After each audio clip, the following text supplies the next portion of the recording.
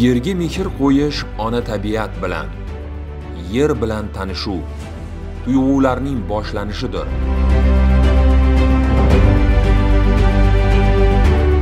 Va bu vatanparvarlikning yuksak namunasi.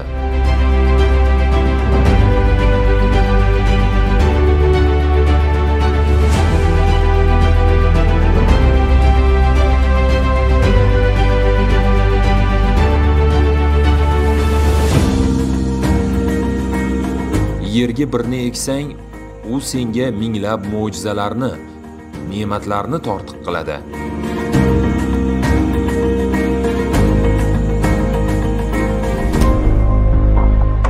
Bu yerlarda baxtli bolalikning halovatning kafolati bor.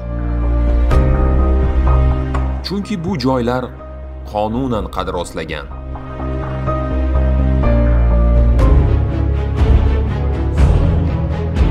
O'zboshimchalik bilan istalgan joylarga qurilgan uylarda na xotirjamlik va na himoya bor.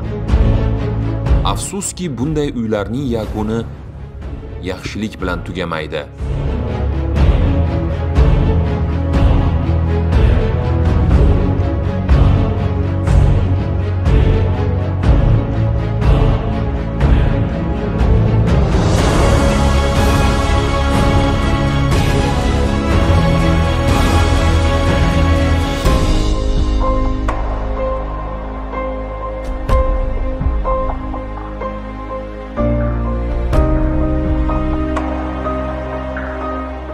Asli er kishi yer sotmaydi.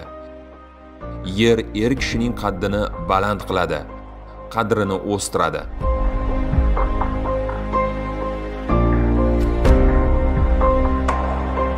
Hamma narsaning qonuniy bo'lgani yaxshi yerdan foydalanish va uy qurishning ham.